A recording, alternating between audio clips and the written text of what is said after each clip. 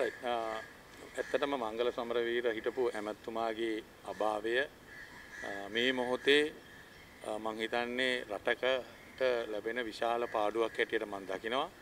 මොකද විශේෂයෙන්ම මේ රටේ ප්‍රජාතන්ත්‍රවාදය ගැන ජාතික සංහිතියාව සමගිය ශ්‍රී ලාංකිකයන් හැටියට සියලු දෙනාම එකතු කරන්න ඕනේ කියන අදහසේ දැඩිව ඉඳගෙන අදහස් ප්‍රකාශ කළ කෙනෙක්. කිසි කිසි විටකත් Tamanගේ අදහස ප්‍රකාශ කරන්න බිය වුණේ නැහැ. දේශපාලන වාසි වෙනුවෙන් එතුමා අදහස් ප්‍රකාශ කළේත් නැහැ. එතුමා හැමතිස්සෙම රටේ ඉදිරි අනාගතය ගැන බලලා තමයි අදහස් ප්‍රකාශ කරේ.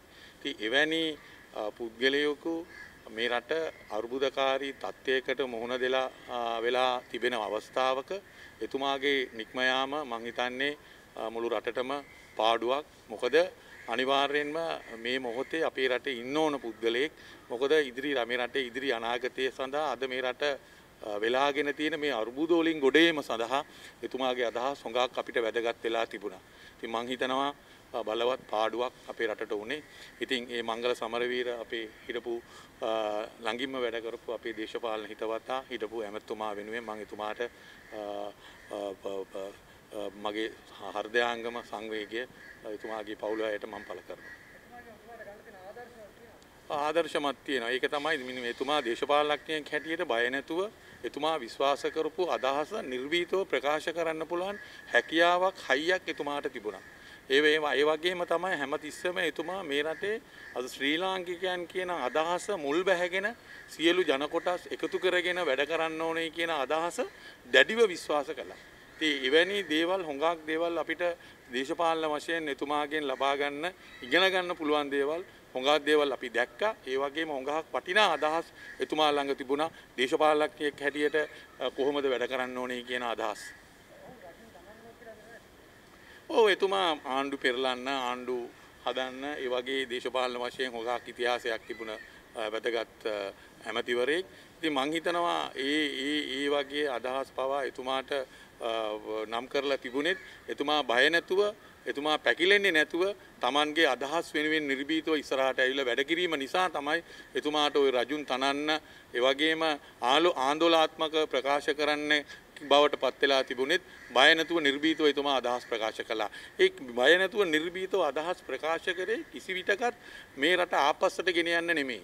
මේ රට ප්‍රජාතන්ත්‍රවාදය නැති කරන්න නෙමෙයි. ඒ සියලු දේවල් ආරක්ෂා කරන්න තමයි එතුමා ඒ අදහස් ප්‍රකාශ කළේ කියන එකත් අපි මතක් කරගන්න ඕනේ. මොකද එතුමාගේ අදහස් වල කිසි විටකත් මේ රටේ ජාතීන් අතර ගැටුම් නිර්මාණය කරන්න ප්‍රජාතන්ත්‍රවාදයට විරුද්ධව මාධ්‍ය නිදහසට විරුද්ධව ඒ වගේ අදහස් එතුමා පළ කරේ නැහැ. එතුමා හැම විටම පළ කරේ රටේ යහපත වෙනුවෙනුත් යටේ ඉදිරි ගමන වෙනුවෙනුත් එතුමා නිවැරදි අදහස් පළ කළා කියන එක අපි මතක් කරන්න ඕනේ. මම හිතන්නේ එක් ප්‍රශ්නයක් තියෙන මේ කොරෝනා සම්බන්ධයෙන්ම ආණ්ඩුවේ වෘත්තීය සමිතිය ඇතුළු ආණ්ඩුවේ බොහෝ දෙනා කියනවා මේ 30 වෙනිදා රට විවෘත කරන්න කියලා. මොකක්ද ඔබතුමන්ලාගේ නෑ අපි දැන් ඕක ඇත්තටම දැන් අපිට තේරෙන දේ තමයි මේ රට වැහිීමේ කියන ප්‍රශ්නේ උඩත් ආණ්ඩුව මේ මෙතනට තල්ලු වුණේ ඊටාම අකමැත්තෙන් බව අපිට පේනවා. දැන් රට වහලත් ආණ්ඩුවේ ඉන්න ඇමතිවරු හා ආණ්ඩුවේ මන්ත්‍රීවරු ප්‍රකාශ කරන අදහස් දිහා බැලුවමත් ඒගොල්ලෝ මේ රට වැහීමට විරුද්ධ අදහස් තමයි ප්‍රකාශ කරන්නේ. ඉතින් මං හිතනවා ආණ්ඩුවේ ඇතුළේම විශාල අර්බුදයකට අද මතුවලා තිබෙනවා. ආණ්ඩුවේ සුළු පක්ෂ කියනවා රට වහන්න කියලා. ආණ්ඩුවේ ප්‍රධාන පක්ෂ කියනවා රට වහන්න බැහැයි කියලා. ඉතින් අද ආණ්ඩුව තුලම මේ කොරෝනා වසංගතයේ ක්‍රියාකාරීත්වය පිළිබඳව ආණ්ඩුව තුළම දැන් අර්බුද මතුවලා තියෙන රාශියක් හැටියට.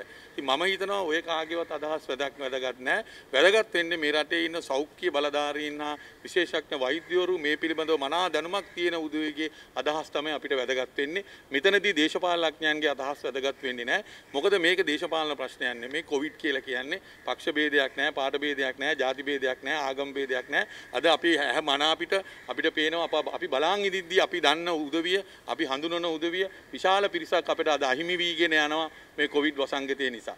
ඒ හින්දා මේක තීරණය කරන්න ඕනේ සෞඛ්‍ය බලධාරීන් හා විශේෂඥවරුන් තමයි තීරණය ගත යුත්තේ රට වහනවද රට අරිනවද කොයිතරම් ප්‍රමාණයකට රට වහන්න ඕනේද කියන එක තීන්දුව කළ යුත්තේ මේ රටේ ඉන්න සෞඛ්‍ය බලධාරීන් හා විශේෂඥ වෛද්‍යවරු කියලා කියන එක තමයි අපේ අදහස.